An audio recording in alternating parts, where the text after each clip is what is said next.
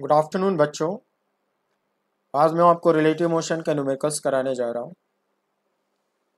पिछले एपिसोड में मैंने रिलेटिव मोशन के जो थ्योरेटिकल कॉन्सेप्ट है, उसको कवर किए। तो देखो वैरायटी ऑफ़ न्यूमेरिकल्स इसमें कुछ question two dimensional relative motion के होंगे। कुछ थ्री डायमेंशनल रिलेटिव मोशन के होंगे और कुछ वन डायमेंशनल रिलेटिव मोशन के होंगे। अगर एक्स वाई क्वानिट यूज़ होगा तो टू डायमेंशनल हुआ। एक्स वाई जेड तीनों क्वानिट इस्तेमाल होंगे तो थ्री डायमेंशनल होगा। और सिर्फ़ एक्स एक्सिस और वाई एक्सिस और जेड एक्सिस इस्तेमाल होगा तो वो वन डायमेंशनल रिलेटिव मोशन होगा। तो देखिए, वैरायटी ऑफ़ क्वेश्चन मैं आपको बताने जा रहा हूँ। कैसे करते हैं, जो कॉन्सेप्ट आपने सीखे हैं, वो किस तरह से अप्लाई होते हैं। आज आपको ये समझ आएगा ये क्वेश्चन है two different particles having their initial velocities u1 and u2 ये वेक्टर फॉर्म में दिया है their constant acceleration seven and a two are shown in the figure with magnitude and direction both. The initial separation between them is 10 meter. Then find out first part v21 at t equals 2 sec. And second part, delta r21 and t equals 0 to t equals 2 sec. बच्चों, दो part आपके question में, आप देखो इसको हम लोग कैसे सॉल्व करेंगे। आपके क्वेश्चन में ये पार्टिकल वन है। और ये उसका इनिशियल वेलोसिटी है। यू वन मैग्नीट्यूड गिवन है टू मीटर पर सेक और डायरेक्शन है सिक्सटी डिग्री ये सेकेंड पार्टिकल है। ये उसका इनिशियल वेलोसिटी यू टू है। मैग्नीट्यूड गिवन है सिक्स मीटर पर सेक और एंगल फ्रॉम एक्स एक्सिस दे रखा है थर्टी सेवन ये फ़र्स्ट पार्टिकल का कांस्टेंट एक्सेलरेशन है downward a one equals two metre per second square second particle का ये कांस्टेंट एक्सेलरेशन है a two given as four metre per second square ये जो दो पार्ट निकालना है, बच्चों, आपको देख कर लगता होगा कि ये सारे वैक्टर्स कोप्लेनर हैं। जब कोप्लेनर है तो इनके दो कंपोनेंट होंगे एक्स एंड वाई तो क्वेश्चन सॉल्व करने, आपके क्वेश्चन में एक्स वाई पहले से बना कर दिया हुआ है। जब एरो लगा के answer i cap j cap में पूछता है ना तो आपके क्वेश्चन पेपर में एक्स वाई पहले से डिफाइंड होता है। क्वेश्चन पेपर में एक्स, वाई एक्सिस पहले से डिफाइंड है, जैसे दिखाया हो। तो इस क्वेश्चन को करने के लिए बच्चों करना क्या होगा कि इसको आई कैप जे कैप में कन्वर्ट करना होगा। इसको भी आई कैप जे कैप में कन्वर्ट करना होगा। इसको भी आई कैप जे कैप और इसको भी आई कैप जे कैप में कन्वर्ट करना होगा। इस समय टाइम का रीडिंग ज़ीरो मान लो, और ये इनिशियल सेपरेशन है। थोड़ी देर के बाद ये सेपरेशन चेंज हो जाएगा। इस वक्त स्टॉप का स्विच ऑन कर लो और इनिशियल सेपरेशन है टेन मीटर बच्चों, अगर कोई वेक्टर इंक्लाइंड होता है तो हमें उसका एक्स वाई कंपोनेंट अलग अलग निकालना पड़ता है। तब जाकर आई कैप जे कैप लगाना पड़ता है। इस यू वन का एक्स कंपोनेंट लेफ़्ट साइड में जाएगा। वो होगा टू कॉस सिक्सटी इसका वाई कंपोनेंट अपवर्ड जाएगा। वो होगा टू साइन सिक्सटी इस, जब यू वन को वेक्टर में फॉर्म में लिखना होगा, इस कंपोनेंट में माइनस आई कैप लगेगा और इस कंपोनेंट में प्लस जे कैप लगेगा। इतना तो आपको समझ में अब आना ही चाहिए। सिमिलरली यू टू का एक्स कंपोनेंट राइटवर्ड जाएगा। ये होगा सिक्स कॉस थर्टी सेवन इसका वाई कंपोनेंट अपवर्ड जाएगा। ये होगा सिक्स साइन थर्टी सेवन बच्चों, ये पॉजिटिव एक्स में है। जिसके साथ unit vector plus i cap होगा। और ये पॉजिटिव वाई में है। इसके साथ unit vector plus j cap होगा। Due to same reason a one downward है। आई मीन नेगेटिव वाई में है। जब ये नेगेटिव वाई में है तो इसका कंपोनेंट लेने की ज़रूरत नहीं है। इसके मैग्नीट्यूड को downward unit vector minus j cap से मल्टीप्लाई कर दो। ए टू अपवर्ड है। आई मीन ये पॉजिटिव आई के डायरेक्शन में है। इसको वेक्टर में कन्वर्ट करने के लिए, इसके मैग्नीट्यूड को सीधे सीधे प्लस जे कैप से मल्टीप्लाई कर दी। बच्चों, ये चारों वेक्टर देखो, मैं यहाँ पे लिख के दिखा रहा हूँ। जैसे जैसे समझाया हूँ, वैसे वैसे यहाँ लिख दिया। यू वन वैक्टर एरो लगा के two cos sixty into minus i cap यहाँ से मैच करा लेना। Two sine sixty into j cap यहाँ से मैच करा लेना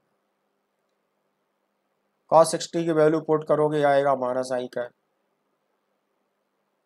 sine sixty की वैल्यू पुट करोगे, यहाँ पे आएगा root three g cap unit आएगा metre per sec due to same reason u two को वेक्टर फॉर्म में कैसे लिखोगे? Six cos thirty seven into i cap diagram से मैच करा लो।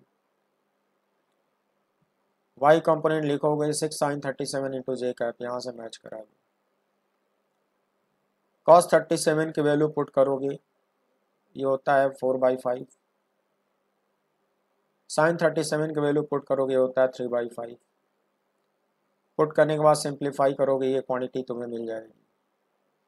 और जैसे ए वन को लिखना सिखाया हूँ और ए टू को लिखना सिखाया हूँ, उसको भी लिख डालो a one minus two j cap and a two vector plus four j का है। क्वेश्चन में इन दोनों को कॉन्स्टेंट बोला है।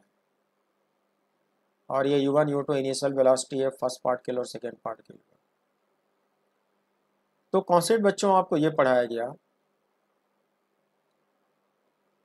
Relative acceleration of the second body with respect to the first body symbol a two one vector definition a two minus a one जिसके respect में पूछता है, उस बॉडी की क्वांटिटी माइनस में रखी जाती है। इसका फ़िज़िकल मीनिंग ये हुआ कि जो ऑब्जर्वर है, वो फ़र्स्ट बॉडी पे खड़ा होगा और वो सेकेंड बॉडी को देखे जा रहा होगा। तो ऑब्जर्वर की क्वांटिटी माइनस साइन में लिखी जाती है, यही आपको सिखाया हूँ। अब ए टू और ए वन को वेक्टर फॉर्म में पुट कर डालू। ये हो जाएगा plus six j cap metre per second square and it's a constant quantity initial relative velocity of the second body with respect to first body इसका सिंबल होता है यू टू वन डेफिनेशन होता है u two minus u one u two को bracket में लिखो. You one को bracket में लिखो. फिर आई कैप को कॉमन ले लो, जे कैप को कॉमन ले लो। कुछ इस तरह से इसके दो टर्म आएँगे। ये हो गया आपका यू टू वन वैक्टर और ये हो गया आपका a two one vector question में इसको कांस्टेंट बोला है। तो बच्चों रिलेटिव मोशन में भी गलीलो इक्वेशन इस्तेमाल कर सकती हो। वो इसलिए कर सकते हो क्योंकि रिलेटिव एक्सलेशन क्वेश्चन में कांस्टेंट बोला है। तो आप कैसे यूज़ करोगे देखो। फ़र्स्ट पार्ट में पूछा है relative velocity of second with respect to first. तो आप गलीलियो फ़र्स्ट इक्वेशन इस्तेमाल करो। सिंबल्स में लिखोगे u two one plus a two one into t बच्चों, आप यू टू वन की वैल्यू इतना निकालो, ये यू टू वन निकाल चुके हो। ऊपर स्क्रॉल करके देख लेना। ए टू वन इतना निकाले हो। और फाइनल वेलोसिटी पूछा व्हेन टी इक्वल्स टू यहाँ टी की वैल्यू टू रख दो। फिर इस पूरे को सॉल्व करो। कुछ ऐसा मिलेगा? तुम चाहो तो इसको डेसिमल क्वांटिटी में कन्वर्ट कर लो। या जैसे चार ऑप्शन में दिया होगा वैसे कन्वर्ट कर लेना। ये तुम्हारा final velocity v two one का आंसर आ गया। सेकेंड पार्ट में आपसे पूछा था डेल्टा टू वन बच्चों, इसको निकालने के लिए हम लोग गैलीलियो सेकेंड इक्वेशन इस्तेमाल करेंगे। सिंबल्स में राइट करोगे u two one t plus half a two one t square फिर यू टू वन की वैल्यू पुट कर डालो। टी की वैल्यू यहाँ पुट कर डालो। फिर half a two one a two one की वैल्यू यहाँ रखो। टी की वैल्यू यहाँ रखो। इसको सॉल्व करो i cap j cap common ले लो, कुछ ऐसा मिलेगा।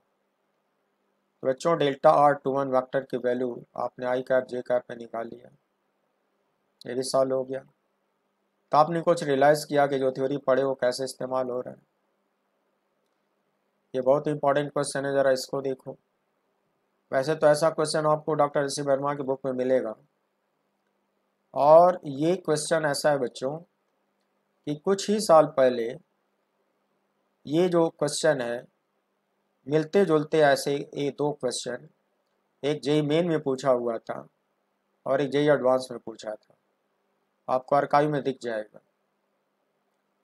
तो मैं एक क्वेश्चन बनाकर आपको इसका सॉल्व करने का टेक्निक सिखा रहा हूँ। पहले आप पूरे क्वेश्चन की लैंग्वेज समझ लो, फिर मैं सिखाता हूँ।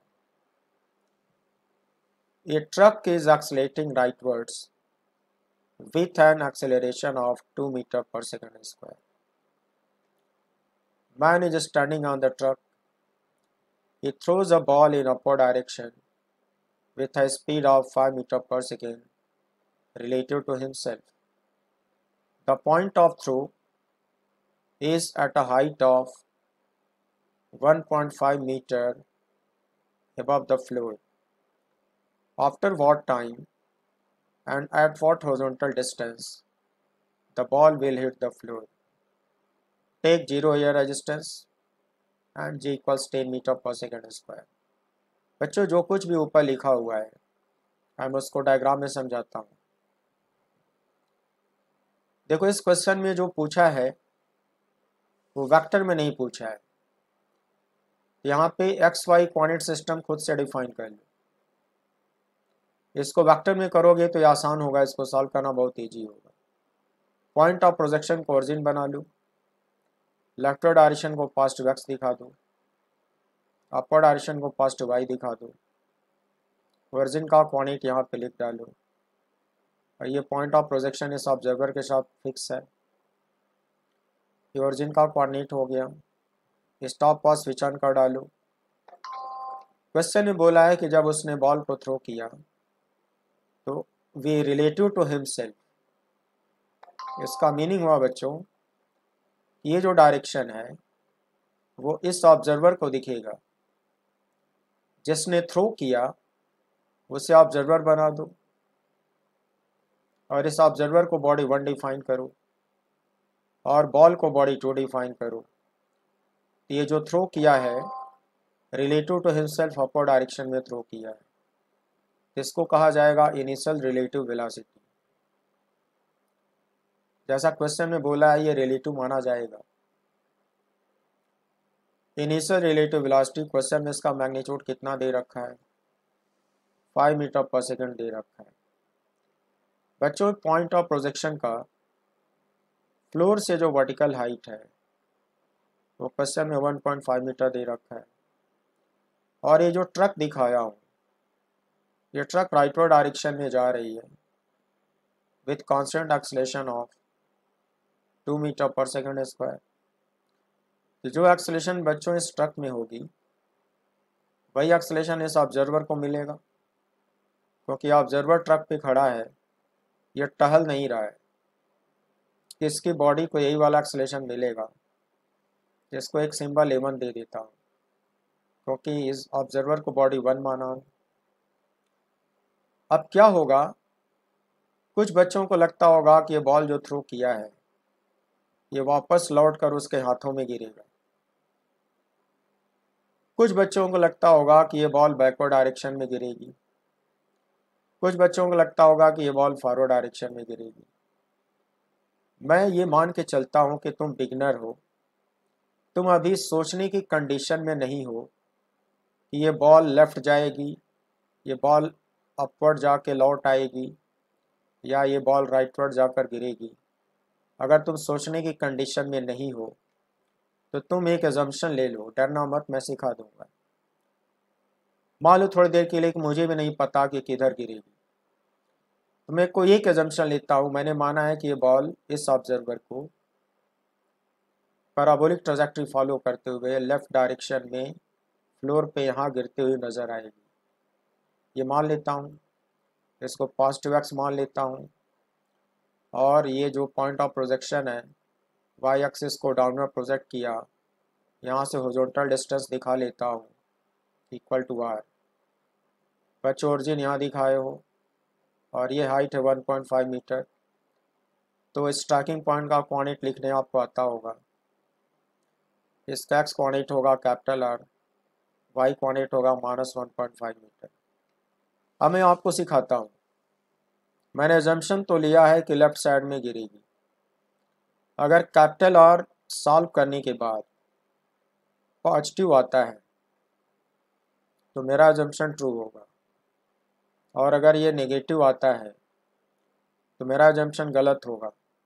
ये लेफ़्ट गिरने के बजाय राइट इधर कहीं गिरेगी। और अगर ये ज़ीरो आता है, अगर ये ज़ीरो हो गया तो फिर बॉल तो वाई एक्सिस पे यहाँ पे आई उसके हाथों में वापस आके गिरेगी। तो बॉल उसके हाथों में वापस आकर तब गिरेगी, जब आर ज़ीरो होगा। अगर आर पॉजिटिव निकला तो यहाँ गिरेगी। अगर आर नेगेटिव निकला तो यहाँ गिरेगी। बच्चों, ये सॉल्व करने के बाद हमको समझ आ जाएगा। मैं देखो, मुझे तो पता है कि लेफ़्ट साइड में गिरेगी। मुझे पता है।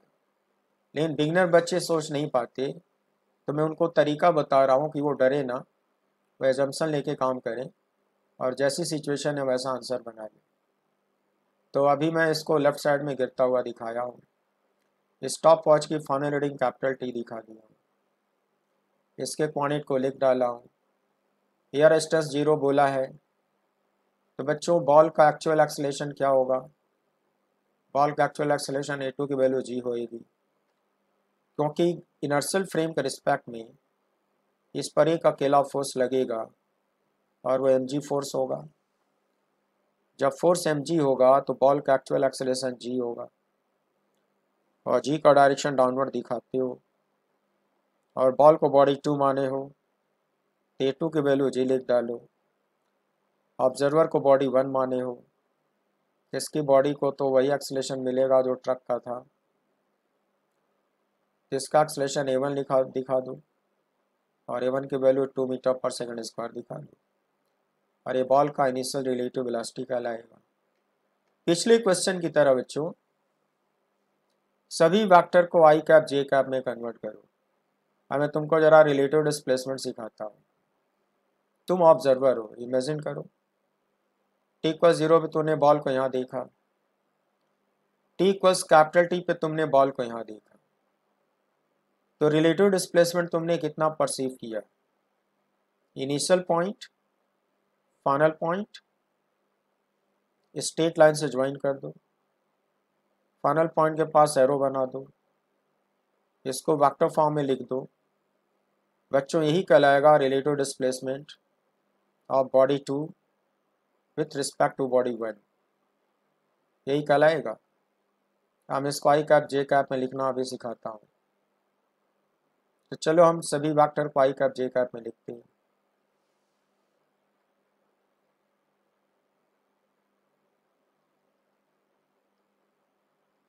U two one vector initial relative velocity बच्चों डायग्राम में अपवर्ड था और ये उसका मैग्नीट्यूड था।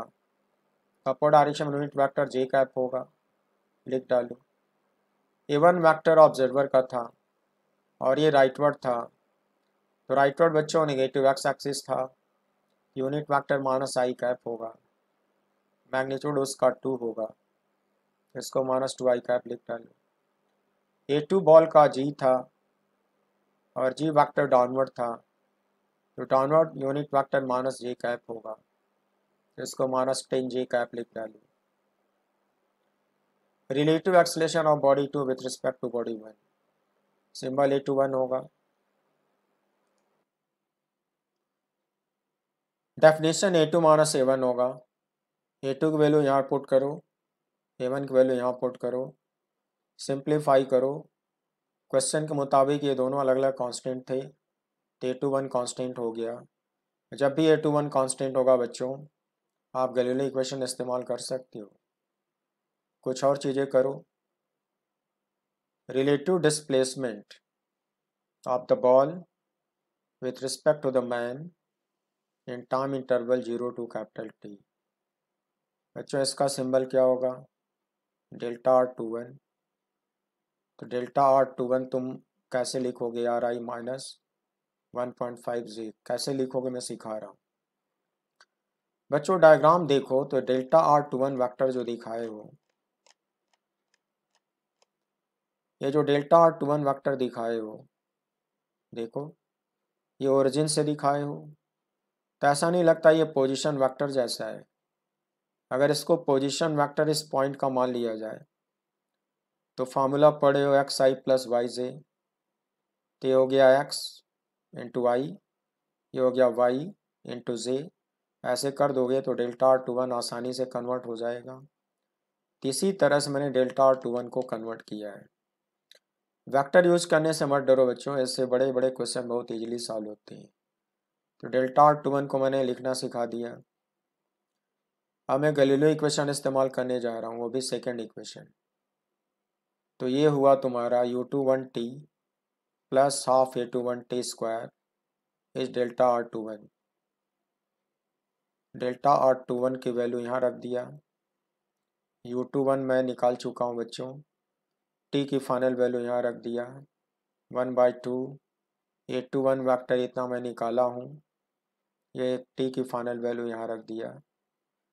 बच्चों, फिर वेक्टर में आप पढ़ते हो कि जब दो वेक्टर इक्वल होते हैं, थोड़ा काम और करो, इसमें से आई कैप कॉमन ले लो जे कैप कॉमन लोगे तो दो टर्म आएँगे, देख लेना।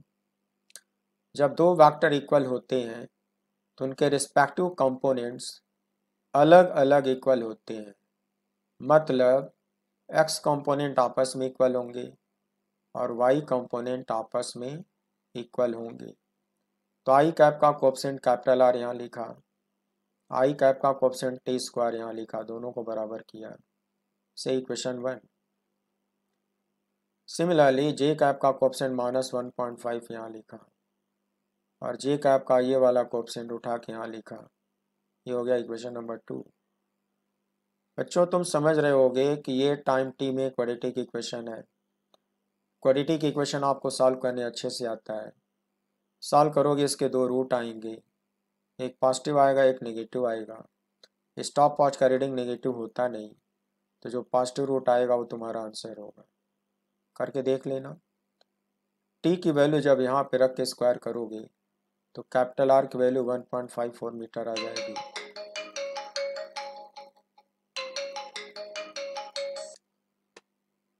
तो बच्चों, आपके क्वेश्चन में जहाँ पे बॉल टकराएगी, उसका हॉरिजॉन्टल डिस्टेंस पूछा था, उसका आंसर हो गया। प्रोजेक्ट करने के इतने टाइम के बाद टकराएगी, ये उसका आंसर हो गया। तो आपने देखा इसको वेक्टर में कन्वर्ट करने से कितनी आसानी से सॉल्व हो गया। तो ये थोड़ा सा ही कैप जे कैप की प्रैक्टिस हो जाएगी तो आप ये सब आसानी से कर ले जाओगे। क्योंकि आपको बहुत सारे क्वेश्चन कुछ वेक्टर मेथड से इजीली सॉल्व होते हैं। कुछ कैलकुलस मेथड्स इजीली सॉल्व होते हैं। तो इसकी आदत डालनी पड़ेगी, जब प्रैक्टिस हो जाएगी तो आप पटपटा नहीं लगेगा। लेकिन अगर इससे भागते रहोगे तो सीख नहीं पाओगे तो प्रॉब्लम क्या होगी कि जेई एडवांस या जेई मेन के पेपर में thirty thirty five percent question आप आसानी से नहीं कर पाओगे, टाइम ज़्यादा लगा दोगे और आप स्कोर कम करोगे। तो कुछ क्वेश्चन जो बीटेक लेवल को लोग पूछते हैं उनको वेक्टर और कैलकुलस और कोऑर्डिनेट मेथड से करना ज़्यादा इजी होता है। इसलिए मैं आपको प्रैक्टिस करवा रहा हूँ, आप ये सब करने की आदत डाल लो और इसे पीछा ना छुड़ाओ। नहीं तो आप स्कोर अच्छा नहीं लाओगे और अच्छा स्कोर नहीं लाओगे तुम्हें भी बुरा लगेगा और मुझे तो लगेगा ही। मैं अपनी ओर से एफर्ट डाल रहा हूँ कि आप ये सब चीज़ें करना सीख जाओ। देखो हम लोग आंसर निकाल चुके हैं। दूसरा क्वेश्चन देखो। An elevator is accelerating in upward direction with 4 meter per sec second square. Man is standing inside the elevator. He drops a coin from a height of 1.5 meter above the floor. After what time the coin will hit the floor? Take 0 air resistance and g equals 10 meter per second square. प्यारे बच्चों, आपके question में एक elevator box है। अपर direction में एक्सलेट हो रहा है। Four metre per second square की बैन है। अंदर एक मैन खड़ा है। अपने हाथों में एक कॉइन लिया हुआ है। और उसका जो कॉइन की हाइट है फ्लोर से, वो 1.5 मीटर दे रखा है। वो कॉइन को धीरे से ड्रॉप करता है। जब भी ड्रॉप लैंग्वेज यूज़ होता है रिलीज़ लैंग्वेज यूज़ होती है तो इनिशियल रिलेटिव वेलोसिटी ज़ीरो मानी जाती है। Mind it initial relative velocity zero मानी जाती है जब ड्रॉप्स या रिलीज्ड वर्ड यूज़ करेगा तो। थ्रोन या प्रोजेक्टेड वर्ड यूज़ करेगा तो इनिशियल रिलेटिव वेलोसिटी ज़ीरो कतई नहीं होगी। तो ड्रॉप्स लिखा है तो इनिशियल रिलेटिव वेलोसिटी कॉइन का ज़ीरो होगा। अब मैं आपको सिखाता हूँ कि इसको कैसे करेंगे। जो एलिवेटर का एक्सलेशन होगा इस मैन को बॉडी को मिलेगा। तो मैन की बॉडी का एक्सलेशन अपवर्ड हो गया। से a one is four metre per second square man observer है। इसको बॉडी वन डिफाइन किया। कॉइन को रिलीज़ किया। जब कॉइन उसके हाथों से अलग हो जाएगा तो कॉइन फ्री फॉल करेगा। कॉइन का एक्चुअल एक्सलेशन बच्चों इनर्सल फ्रेम में क्या आएगा? जी के बराबर। तो एक्चुअल एक्सलेशन को सिंबल ए टू दिया हूँ क्वाइन का। बच्चों, जो इनर्सिया का कॉन्सेप्ट होता है, वो एक्सलेशन पे काम नहीं करता है। इनर्सिया का कॉन्सेप्ट केवल वेलासिटी पे काम करता है। कुछ बच्चों को लगता होगा कि जिस वक्त वो ड्रॉप करेगा, इनर्सिया की वजह से वाला एक्सलेशन कॉइन को मिलेगा। नो बिल्कुल नहीं। एक्सलेशन में इनर्सिया यूज़ नहीं होता। इनर्सिया सिर्फ़ वेलासिटी में यूज़ होता है। हमें कहना चाहता हूँ कि गिराने से पहले, उसके इन हाथों में अपर डायरेक्शन में एक वेलासिटी थी। कि जब वो रिलीज़ कर देगा तो वही वेलासिटी उस क्वाइन को अपर डायरेक्शन में मिल जाएगी। क्वाइन को वही वेलासिटी मिल जाएगी जो उसके हाथों में थी, ये है बच्चों इनर्सिया अब क्वाइन की एक्चुअल वेलासिटी अपवर्ड हाथों की एक्चुअल वेलासिटी अपवर्ड और दोनों वेलासिटी बराबर तो रिलेटिव वेलासिटी तो ज़ीरो हुआ ना। इसलिए प्यारे बच्चों, कहा जाएगा कि क्वाइन का इनिशियल रिलेटिव वेलोसिटी जो इसको दिखाई देगा, वो ज़ीरो होएगा। इनर्सिया का रोल वेलोसिटी में होता है एक्सेलरेशन में नहीं होता। तो जब क्वाइन उसके हाथों से अलग होगा one and only force acting on the coin is m g and because of m g the actual acceleration of coin is g denoted by a two direction downward magnitude ten metre per second square अब मैं आपको थोड़ी देर में समझा दूँगा कि इस आदमी को ये क्वाइन डाउनवर्ड जाता हुआ क्यों दिखेगा। प्यारे बच्चों अलग अलग केस होता है। ये एक्सलेशन कभी ज़ीरो भी होता है, ये एक्सलेशन कभी डाउनवर्ड भी होता है। तो ये क्वाइन हमेशा इस आदमी को एक ही डायरेक्शन में जाता हुआ नहीं दिखेगा। पूरी बात समझो, घबराना नहीं। Depending upon situation as perceived और seen by this man coin कभी इसको डाउनवर्ड जाता दिखेगा क्वाइन कभी इसको अपवर्ड जाता दिखेगा क्वाइन कभी उसको रुका हुआ भी दिख सकता है। Upon magnitude and direction of a one find it तुम उसे कह सकते हो कि मुझे कैसे मालूम कि ये डाउनवर्ड जाता दिखेगा? मैं थोड़ी देर में बताने वाला हूँ। फ़िलहाल ये तो क्वाइन का एक्चुअल एक्सलेशन है, और वो तो जी के बराबर है, और वो जी तो डाउनवर्ड होता ही है। तो इसको दिखा डालो। ये ऑब्जर्वर है, उसकी बॉडी का एक्चुअल एक्सलेशन एलिवेटर के बराबर होगा, और वो तेवन ही होगा। उसको दिखा डालो। यहाँ पे स्टॉप पर स्विच ऑन कर डालो। मान लो थोड़ी देर के बाद कॉइन फ्लोर से टकराता है। जिस वक्त वो टकराता है स्टॉप वॉच की फाइनल रीडिंग कितनी हो जाती है? कैपिटल टी हो जाती है। टी का ज़ीरो पे इस मैन ने कॉइन को यहाँ देखा। टकराते वक्त उसने कॉइन को यहाँ देखा। इनिशियल को फाइनल से मिला दो। फाइनल के पास एरो बना दो। तो ये रिलेटिव डिस्प्लेसमेंट कहलाएगा। और रिलेटिव डिस्प्लेसमेंट डाउनवर्ड दिखेगा। मैग्नीट्यूड 1.5 दिखेगा। तो बच्चों, आप जरा सोचो कि ये वेक्टर अपवर्ड है, ये वेक्टर डाउनवर्ड है, रिलेटिव डिस्प्लेसमेंट भी डाउनवर्ड है। तो सभी वेक्टर तो एक वर्टिकल डायरेक्शन में हुए। जब सारे वेक्टर वर्टिकल लाइन पे हुए तो ये इस तरह के वेक्टर्स को वन डायमेंशनल वेक्टर बोलते हैं। मैं आपको सिखा रखा हूँ कि वन डायमेंशनल मोशन में i cap, j cap, k cap use नहीं करते। साइन कन्वेंशन बनाते हैं, प्लस और माइनस से काम चलाते हैं। ऑडिट बच्चों, सबसे पहले मैं यहाँ पे एक साइन कन्वेंशन डिफाइन करने जा रहा हूँ। और अकॉर्डिंगली इन सभी वैक्टर को प्लस माइनस इस्तेमाल करके लिखूँगा। तो देखो मैं कैसे साइन कन्वेंशन बना रहा हूँ। Make a suitable sign convention. Suppose upward direction is positive and downward direction is negative. Here the man is observer, say body 1. He is observing the coin, that is body 2. Actual acceleration of the man, A1, as per convention it should be positive. And actual acceleration of the coin, A2. As per sign convention it should be minus G. बच्चों यहाँ से confuse मत होना ये magnitude खाली लिखा हो। लेकिन अब कन्वेंशन यहाँ इस्तेमाल कर रहा हूँ कन्फ्यूज़ मत होना। ऐसा करना पड़ता है। डाउनवर्ड को नेगेटिव माने हो तो माइनस लगा दो। फिर ये हो गया minus ten now suppose the man drops the coin at t equals zero and it strikes the floor at t equals t ऊपर बता चुका हूँ। The initial relative velocity of the coin u two one symbol होगा। ये तो zero ही होगा बच्चों, इसको तो मैंने बहुत डिटेल में समझाया। कि जब रिलीज्ड या ड्रॉप्ड वर्ड यूज़ होता है तो इनिशियल रिलेटिव वेलोसिटी को ज़ीरो माना जाता है। जब प्रोजेक्टेड या थ्रोन वर्ड यूज़ होगा तो ये नॉन ज़ीरो होगा, और जो भी होगा क्वेश्चन में लिख के देगा। तो इनिशियल रिलेटिव वेलोसिटी हुआ, उस वक्त टाइम ग्रेडिंग क्या थी? Zero relative displacement of the coin in time interval zero to capital T symbol यहाँ डेल्टा वाई टू वन होगा। बच्चों, मैंने वर्टिकल एक्सिस को वाई एक्सिस मान लिया है। तो रिलेटिव डिस्प्लेसमेंट बिग होगा। तो मैंने उसको एक सिंबल दे दिया डेल्टा वाई टू वन अच्छा डायरेक्शन डाउनवर्ड था तो साइन नेगेटिव होगा। मैग्नीट्यूड 1.5 मीटर था ये। Relative acceleration of the coin with respect to the man. बच्चों, ये मेरे से यहाँ पे प्रिंटिंग एरर हो गया है। रिलेटिव एक्सलेशन में यहाँ पे डेल्टा टर्म इस्तेमाल नहीं होगा। सिर्फ़ ए टू वन होगा।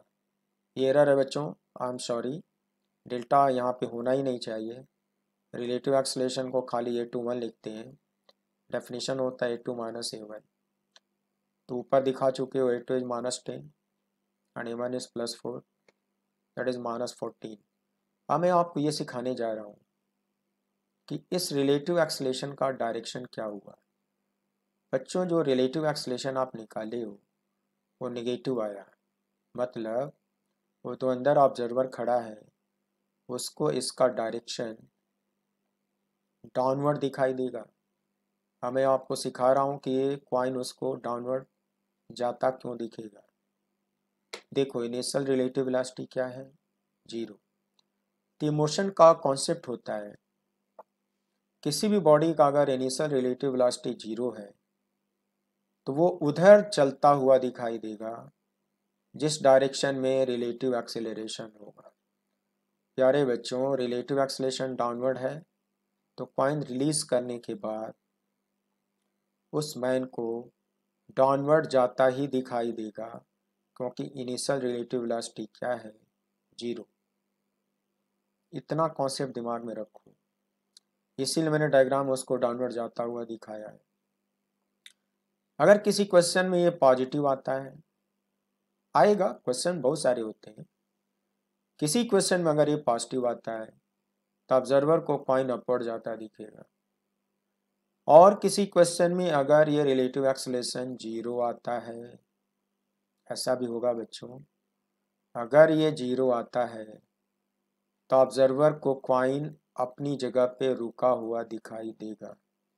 लेकिन मेरे क्वेश्चन में तो नेगेटिव है तो ऑब्जर्वर को डाउनवर्ड जाता दिखाई देगा। इज़ इट और ये कांस्टेंट क्वांटिटी है। तो आप गलीलो इक्वेशन इस्तेमाल कर सकते हो। वो भी second equation of motion use करो। U two one t plus half a two one t square delta y two one की वैल्यू पुट कर डालो। यू टू वन ऊपर ज़ीरो दिखाए हो। टी की फाइनल वैल्यू कैपिटल टी हुआ। Half दिखा दो। ए टू वन की वैल्यू पुट कर डालो। इसको कैपिटल टी दिखा दो। अब ये टाइम टी में क्वाड्रेटिक इक्वेशन हुआ। फिर से सॉल्व करोगे तो दो रूट आएँगे। एक पॉजिटिव आएगा, एक नेगेटिव आएगा। टी नेगेटिव नहीं हो सकता। तो जो पॉजिटिव रूट है, उसका आंसर होगा। बच्चों, इतने टाइम के बाद पाइन फ्लोर से टकराएगा। ये आंसर हो गया। तो बच्चों, ये जो क्वेश्चन था, ये वन डायमेंशनल रिलेटिव मोशन का क्वेश्चन था। और इसके पीछे ट्रक वाला जो क्वेश्चन था, वो टू डायमेंशनल रिलेटिव मोशन था। एक क्वेश्चन और देखो।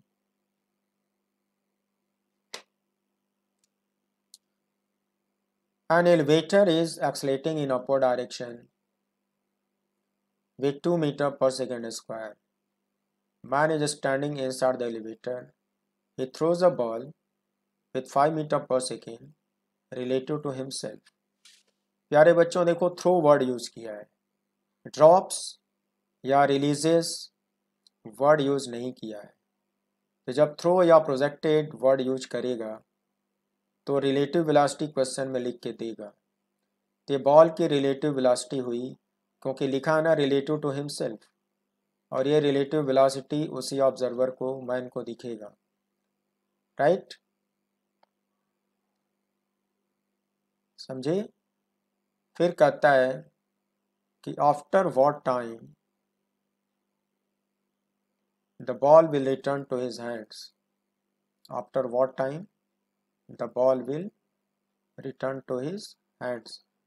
Take zero air resistance and g equals 10 meter per second square. प्यारे बच्चों, इस क्वेश्चन के साथ डायग्राम बना हुआ था। और डायग्राम में इसको अपर दिखाया हुआ था। मैं डायग्राम को डिस्क्राइब करने जा रहा हूँ। तो इसको पढ़ के लगा कि ये भी वन डायमेंशनल रिलेटिव मोशन हुआ। तो यहाँ भी आपको एक साइन कन्वेंशन डिफाइन करना होगा। सबसे पहले आप एक सुटेबल साइन कन्वेंशन बना लो। Suppose upward direction is positive again and downward direction is negative अब डायग्राम पे आओ। ये है तुम्हारा एलिवेटर बॉक्स एलिवेटर का एक्सलेशन अपवर्ड और ये एक्सलेशन मैन को मिलेगा। मैन को बॉडी वन डिफाइन करो। इसको एवन लिख डालो। दैट इज़ टू बॉल को वो यहाँ से थ्रो कर रहा है। अपवर्ड डायरेक्शन में थ्रो कर रहा है वो। ये डायग्राम बना हुआ है।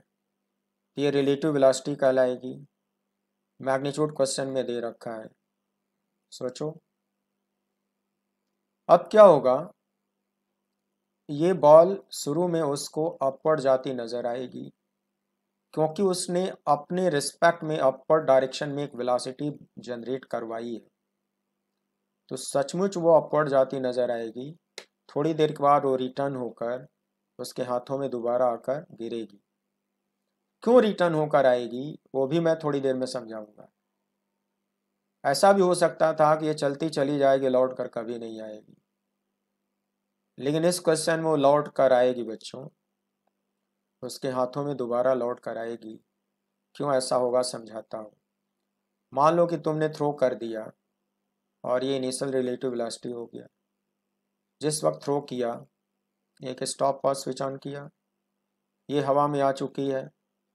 Only force acting on the ball is m g so actual acceleration of the ball is g vector magnitude ten ball को बॉडी टू डिफाइन किया और ए टू की वैल्यू जी लिख डाला। बच्चों, ये मैग्नीट्यूड है अभी साइन कन्वेंशन यूज़ नहीं कर रहा हूँ। तो ball is body two man is body one and this one is a one is a two and this is u two one अब ये बॉल अपवर्ड जाएगी जाएगी जाएगी, फिर लौट कर उसी स्टेट लाइन पर। उसके हाथों में आकर गिरेगी। टाइम की फाइनल रीडिंग क्या हो जाएगी? कैपिटल टी हो जाएगी।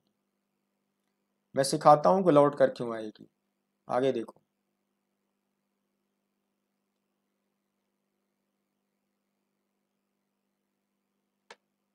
The actual acceleration of the man a one plus two sign convention जो बनाए हो प्लस लिखोगे?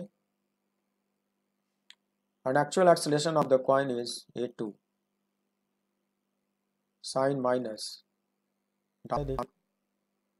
minus that is minus ten suppose the man throws the ball at t equals 0 and it returns to his hands at t equals capital T. ऊपर दिखाया हूँ। Initial relative velocity of the ball u21 is plus 5 direction upper दिखाए हो तो positive sign लगाओगे time का reading zero लिखोगे। Relative displacement of the ball and t equal zero to t equal t बच्चों, इस आदमी ने टी इक्वल ज़ीरो पे बॉल यहाँ देखा। जब बॉल लौट कर उसके हाथों में वापस आ गई तो कैपिटल टी पर भी उसने बॉल को अपने हाथों में ही देखा। यानी कि दोनों बार वो एक ही जगह पे देखा। इसका मतलब बच्चों रिलेटिव डिस्प्लेसमेंट कितना देखा? रिलेटिव डिस्प्लेसमेंट ज़ीरो देखा। सिंबल्स में डेल्टा वाई टू वन को क्या लिखोगे? ज़ीरो। ये रिलेटिव डिस्प्लेसमेंट कहलाएगा। और रिलेटिव एक्सलेशन निकालो। Relative acceleration of the ball. With respect to the man, देखो प्यारे बच्चों, मैं फिर से सॉरी बोलता हूँ। फिर से यहाँ डेल्टा रिपीट हो गया है। डेल्टा बिल्कुल नहीं होगा, सिंबल सिर्फ़ ए टू वन होगा। मैं इसको करेक्शन कर लूँगा। नेक्स्ट एडिशन मेरी बुक की आएगी तो उसमें करेक्शन मिलेगा। सिर्फ़ ए टू वन सिंबल होगा। It should be a two minus a one a two is minus ten a one is plus two now this comes out minus twelve metre per second square मैं थोड़ा यहाँ पे कुछ बताना चाहता हूँ। Relative acceleration ball का observer को डाउनवर्ड दिखेगा। बिकॉज़ ऑफ़ दिस नेगेटिव और इनिशियल वेलोसिटी अपवर्ड थी। बच्चों इनिशियल वेलोसिटी अपवर्ड थी और रिलेटिव एक्सलेशन डाउनवर्ड है। तो नेगेटिव होने के कारण ये इसको घटाएगा। तो ये वेलोसिटी पहले घटते घटते ज़ीरो होगी। फिर ये वाला एक्सलेशन उसको पलटाएगा और बॉल पलट के डाउनवर्ड गिरनी शुरू हो जाएगी। बच्चों, इस क्वेश्चन में ये निगेटिव आया है। यही वजह है कि बॉल लौट कर उसके हाथों में आएगी। लेकिन अगर एक हाइपोथेटिकल क्वेश्चन बना दिया जाए इमेजनरी क्वेश्चन जिसमें ये वाली क्वांटिटी पॉजिटिव आती, सोचो हाइपोथेटिकल क्वेश्चन फिजिक्स में मिलते हैं। अगर ये वाली क्वांटिटी पॉजिटिव आती ए टू वन पॉजिटिव होता यू टू वन भी पॉजिटिव होता तो पॉजिटिव एक्सलेशन इसको सपोर्ट करता डायरेक्शन नहीं पलटाता, इसके मैग्नीट्यूड को बढ़ाता, और डायरेक्शन पॉजिटिव बना रहता तो बॉल उस मैन को लगातार अपवर्ड जाती, नज़र आती लौट कर कभी नहीं आती। लेकिन बच्चों, ये तो पॉजिटिव है, और ये नेगेटिव है तो एक तरह से ये डेसिलेशन का काम करेगा, और ये इस वेलोसिटी को घटाएगा। घटा के मैक्सिमम हाइट पे ज़ीरो करेगा, फिर इसको पलटाएगा बॉल पलट के डाउनवर्ड आएगी, उसके हाथों में गिरेगी। Because of this negative sign बच्चों, समझ पा रहे हो ना? समझ लो, यही सब छोटी छोटी बातें हैं, जिसको कई सालों तक लोग नहीं समझ पाते और टीचर समझा भी नहीं पाते। हर टीचर एक जैसे नहीं होते। तो मैं आपको अच्छे से समझा रहा हूँ, समझ लो। ये नेगेटिव है और ये पॉजिटिव है, इसीलिए बॉल पलटेगी। अगर ये भी प्लस होता और ये तो प्लस है ही बॉल कभी नहीं पलटती। ये भी पॉजिटिव होता बॉल कभी नहीं पलटती बॉल उसको लगातार अप पड़ जाती, नज़र आती। Since the relative acceleration is constant look this is constant we can use Galileo's equation using second equation of motion ऐसे लिखोगे second equation how much delta y two one zero u two one plus five 5. T की final value capital T 1 by 2. A 2 1 की value minus twelve into t square प्यारे बच्चों, यहाँ से T को ले लो कॉमन ऐसे दो फैक्टर आएँगे आप अच्छे से जानते हो कि ये ज़ीरो नहीं हो सकता फिर इसको ज़ीरो होना पड़ेगा इसको ज़ीरो होना पड़ेगा तो टी की वैल्यू आती है five by six is it that is zero point eight three second ये रहा तुम्हारा आंसर एक क्वेश्चन थीफ और पुलिस जीप का देखो. A thief is biking at a maximum constant speed of 108 kilometre per hour वो मैक्सिमम कांस्टेंट स्पीड से भगा रहा है. इससे ज़्यादा स्पीड पॉसिबल नहीं है. At t equals 0 a police jeep 1000 meter behind the bike moving with a speed of 36 km per hour wants to chase the thief in 10 seconds With what constant acceleration the police jeep must go to chase the thief diagram देखो बच्चों ये diagram cycle की तरह दिख रहा है मगर तुम इसको बाइक मानो ये थीफ है, तुम्हें लगता होगा ये तो बड़ा जेंटलमैन है, वो साइकिल चला रहा है। कोई बात नहीं, आप इसको बाइक मान लो और इसको एक चोर मान लो। तो बाइक चला रहा है कॉन्स्टेंट मैक्सिमम वेलोसिटी से, वो किलोमीटर पर आवर में दिया है। हम लोग इसको ऐसा यूनिट में कन्वर्ट करेंगे। तो आप पढ़ रखे हो लोअर क्लासेस में इसको फाइव बाई एटीन से मल्टीप्लाई करना पड़ता है। फाइव बाई एटीन से मल्टीप्लाई करने पर वो मीटर पर सेकेंड में कन्वर्ट हो जाता है। तो आता है वो थर्टी मीटर पर सेकेंड। और वो कांस्टेंट वेलोसिटी से जा रहा है। टी इक्वस ज़ीरो पर स्टॉप वॉच का रीडिंग है ज़ीरो ये पुलिस जीप है। पुलिस जीप चोर से, थीप से कितना पहले थी? थाउज़ेंड मीटर पहले थी। इस पुलिस जीप ने इस चोर को देखा। और मान लियो कि इस समय टाइम का रीडिंग ज़ीरो हो रहा था। और पुलिस जीप का जो वेलासिटी था, उस वक्त था thirty six kilometre per hour. Obviously ये वेलासिटी इस वाले से कम है। तो इस वेलासिटी से तो पकड़ ही नहीं पाएगा। तो इसको अपनी स्पीड बढ़ानी पड़ेगी। मतलब इसको एक्सलेट करवाना होगा। ये अपना, अपने आप को एक्सलेट करेगी जीप, तब कहीं जाके इसको पकड़ पाएगी जी इसको फाइव बाई एटीन करो या आएगा टेन इमेजिन करो कि पुलिस जीप कांस्टेंट एक्सेलेशन ही मेंटेन कर रही है, ताकि इसको पकड़ ले। पकड़ने का टाइम लिमिटेशन दिया हुआ है। क्वेश्चन में डिमांड करा गया है कि पुलिस जीप 10 सेकेंड में उसको पकड़ लेना चाहती है। पुलिस जीप इस चोर को दस सेकेंड में पकड़ लेना चाहती है मतलब ये जो डिस्टेंस यहाँ दिख रहा है, इस डिस्टेंस को पुलिस जीप दस सेकेंड में कवर करना चाहेगी बच्चों। दिमाग पे जोड़ डालो। इस क्वेश्चन को करने का तरीका क्या हुआ मैं समझाता हूँ। रिलेटिव मोशन ये थ्योरी कैसे लगेगा? थीफ को बॉडी वन मानो। पुलिस जीप को बॉडी टू मानो। तो ए टू की वैल्यू ए हो जाएगा। और ए वन की वैल्यू ज़ीरो हो जाएगा क्योंकि इसका इस वेलोसिटी तो कांस्टेंट है।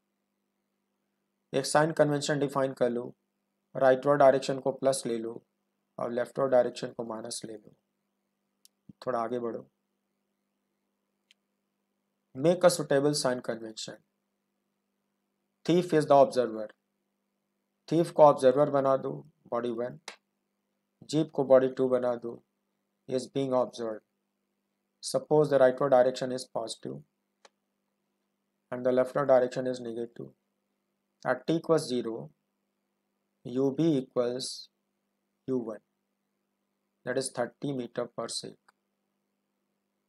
B for bike say u1. J for jeep uj equals u2 that was 10 ऊपर देख लेना कन्वर्ट किया हूँ और जो तुम्हारा थीफ है उसकी वेलोसिटी कांस्टेंट है तो उसका एक्सलेशन ए वन ज़ीरो हुआ पुलिस जीप कांस्टेंट एक्सलेशन से एक्सलेट करा रही है। टे टू की वैल्यू ए हुआ और यह नोन है गिवन नहीं है। इनफैक्ट इसको निकालना है। In time interval zero to ten second the displacement of the body two with respect to body 1 that should be delta 2 n plus thousand metre बच्चों, ये मैंने प्लस क्यों लगा दिया? मैं समझाता हूँ। ऑब्जर्वर मैंने थीफ को बनाया। इमेजिन करो कि तुम थीफ हो। बच्चों, बुरा नहीं मानना। समझने के लिए खुद ऑब्जर्वर बनना पड़ेगा। चोर तुम हो और तुम पीछे पलट के पुलिस जीप को देख रहे हो। बच्चों टी इक्वल ज़ीरो पर आप पीछे पलट के देख रहे हो इमेजिन करो। जब आप ही ऑब्जर्वर हो तो आपके रिस्पेक्ट में बाइक रिलेटिव रेस्ट में मानी जाएगी। क्योंकि आप बाइक पे ही बैठे हो। बाइक रिलेटिव रेस्ट में नज़र आएगी। आपको सिर्फ़ जीप का मोशन दिखेगा। तो टी इक्व ज़ीरो पर जीप को आपने यहाँ पे देखा। पीछे पलट के आप देखे जा रहे हो। जीप को आपने यहाँ पे देखा। और जब ये जीप आपको पकड़ लेगी तो बिल्कुल बगल में आ जाएगी। तो टी इक्वल्स टेन सेकेंड के बाद जब वो जीप पकड़ लेगी तो जीप बिल्कुल आपके करीब आ जाएगी। फिर से समझो। टी इक्वल्स ज़ीरो पे आपने जीप को यहाँ देखा। टी इक्वल्स टेन सेकेंड पे जीप को आपने यहाँ देखा। तो यहाँ से यहाँ तक इसको आप रिलेटिव डिस्प्लेसमेंट मानोगे। फाइनल पॉइंट के पास एरो बना दो। और एक वेक्टर बना दो। ये राइटवर्ड वेक्टर हुआ। डायरेक्शन राइटवर्ड हुआ। साइन इसका पॉजिटिव होगा। मैग्नीट्यूड थाउज़ेंड होगा। सिंबल में इसको डेल्टा एक्स टू वन लिखा जाएगा, क्योंकि ये वन डायमेंशनल वेक्टर है। तो रिलेटिव डिस्प्लेसमेंट थाउज़ेंड मीटर हुआ। और जब आप बाइक पे बैठे हो तो बाइक तो आपको रिलेटिव डस्ट में नज़र आएगी। तो डायग्राम बनाते वक्त बाइक का मोशन मत दिखाओ, सिर्फ़ जीप का मोशन दिखाओ। क्योंकि ऑब्जर्वर जिस बॉडी पे होता है, उस बॉडी का मोशन उसको दिखाई नहीं देता। तो डायग्राम उसको दिखाते भी नहीं। तो रिलेटिव मोशन में अब ज़रूर वाली चीज़ों को हमेशा रोक दिया जाता है और दूसरी बॉडी को मूव करता हुआ दिखाया जाता है। तो तुम डायग्राम में इसको रुका हुआ मान लो, तुम ही ऑब्जर्वर हो, और जीप को चलता हुआ दिखा दो तो जीप इतना चलेगी? Relative displacement plus thousand metre होएगा। टाइम का रीडिंग टेन होगा। अब आगे देखो।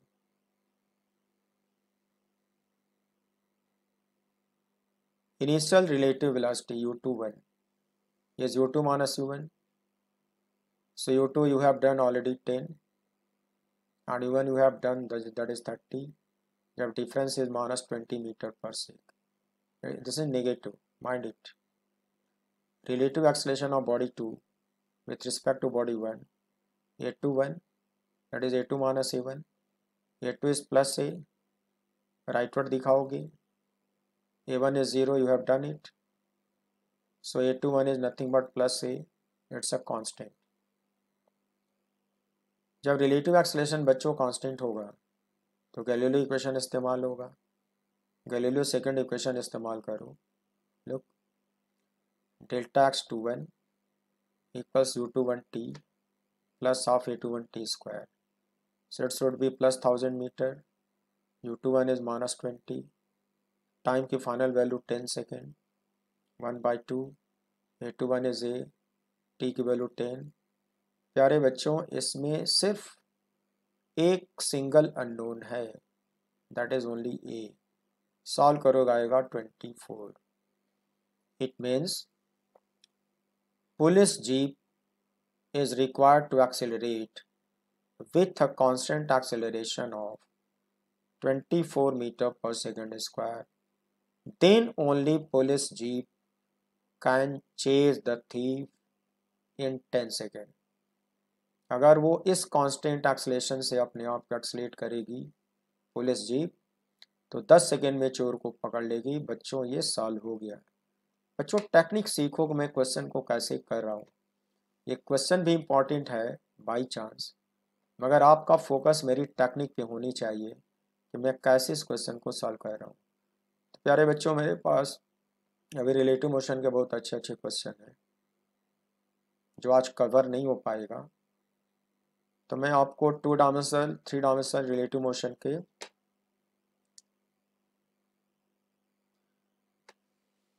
टू डायमेंशनल और थ्री डायमेंशनल रिलेटिव मोशन के बहुत अच्छे अच्छे क्वेश्चन अभी मेरे पास हैं।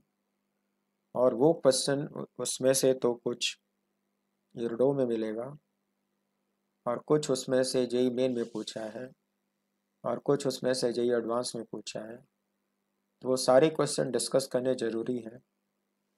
मे भी आपको टफ लग सकता है, मगर आप डरना नहीं। मैं धीरे धीरे ठीक से सिखाऊँगा। और सीखना ज़रूरी है। अगर तुम मेरिटोरियस स्टूडेंट हो, सीखना ज़रूरी है। So thank you very much and good day